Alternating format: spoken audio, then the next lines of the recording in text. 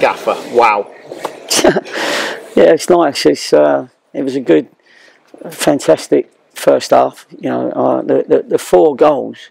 I know Connors was a sort of bit lucky, but the four, the build up and the goals I thought were, were fantastic. You know, it was it's what we try and work on, all of them, and uh, and the boys started started strong. It was nice to be three 0 up. We we wanted to get that early one. We didn't want another Halifax, and you know give. Uh, the opposition any oxygen by scoring one and making it 3 1 and giving them a chance. And I think they only had one shot in the in the second half, um, and the lads tried to a little bit take their foot off the gas because of the game. You know, we'd had a game, we got another game Saturday, and uh, and then the op- the opposition had a couple of lads that came on and uh, got in the game a bit. But uh, no, hopefully everybody was entertained, and uh, it, it, it just shows you we were ten points away from you know the seventh spot, and now we're eight.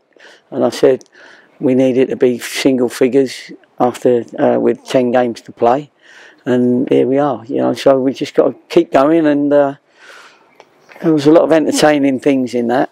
Um, so, yeah, great result, and I'm pleased for everybody that came today. When you assessed the uh, defeat at Halifax, you said about the first half performance and how pleased you were and how there were so many good things. It doesn't always mean that in the next game you get the desired result, but it looked like your team had a point to prove there. Yeah, we, we, we did. Uh, we did have a point to prove, and you know we actually worked very hard at uh, Halifax. Got done by a, a, couple of set plays. First half, we should have been away and gone. We should have been four 0 up, three 0 up. It was definitely a penalty. You know, I can say that now. Um, I think I said it then even, and I'll say it again and again because it, it was, and it was an important part time of the game that penalty would have been, and it, it was only what we'd have deserved. But but that's gone now, and we just said, you know, let's make sure that we put in a performance today because we're expected to win because of the league positions. But you got you got to go out and perform, and uh, when everybody sees the goals back, you, know, we'll realise what good moves they were, combinations and um, work that we do on the training ground. So uh, that would have picked the lads up uh, for the last you know, ten games. Because so, obviously we we still got we got to give it a go.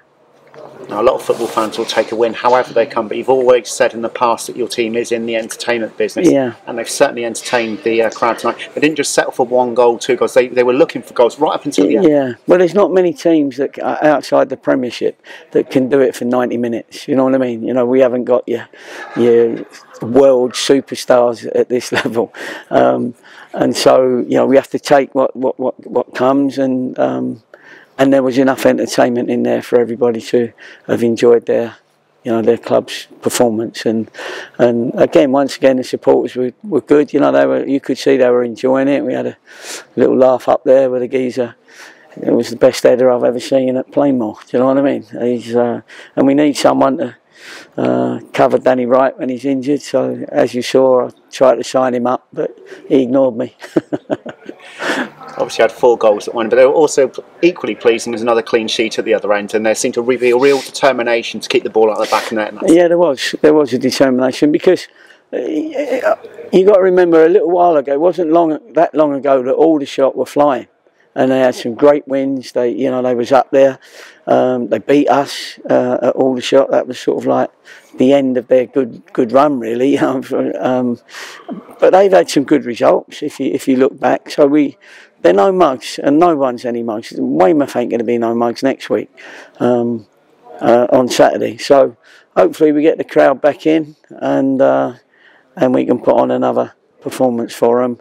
But most importantly, if we can pick up another three points, um, then that'll be uh, a fine week. You know, two wins out, out of the three. So ten games to go, Gaffer. Eight points the gap to seventh place. But there's no reason if you play like your team plays like that, they should fear anyone in this division. No, well, we, we, we try not to fear anyone in this division, uh, especially now we can't get relegated. I don't know whether that's official, but normally when you get um, 50 points, that's uh, you know, um, and at one point, you know, we was we were sort of looking below us for a little while, you know, when we were 16th and 17th and that sort of stuff. But um, the top boys have all still got each other to play and so they can't all win. And so, you know, we, we, we mustn't let ourselves down by letting ourselves down if the others fail. You know, and, and like look at Boreham Wood, you know, we were miles behind them and they've still got a couple of games in but they're not winning games at the minute.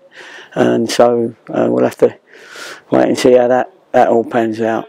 And finally, Gaffer, on a night where uh, we paid tribute to uh, Torquay United, uh, one of their legendary figures in Frank O'Farrell, your team produced a, a performance that was fitting to them. Yeah, nice. Um, you know, we I always respect managers that have you know had, had the longevity that, that Frank had, and uh, wherever you go, wherever Frank's been, everybody respects what he's done, and he was a proper football man. I didn't meet him or see him, I know him myself, but everybody you talk to that, that, that knew him um, always said he was a gentleman.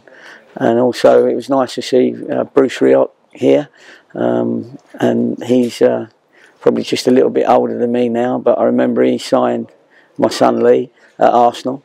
Um, when Lee was 14, he signed him on schoolboy forms and promised him an apprenticeship there. And uh, I've still got the picture in my football room of me, my wife Karen, Lee, and Bruce. So he's uh, he's got a permanent fixture in my in my football room at home. So. Uh, and I know he really respected Frank O'Farrell as well. So, to all his family, then uh, you know, commiserations, of course, but uh, he'll be fondly remembered. Well, thank you for joining us and congratulations on a fantastic performance from your own side tonight. Appreciate it. Thank you.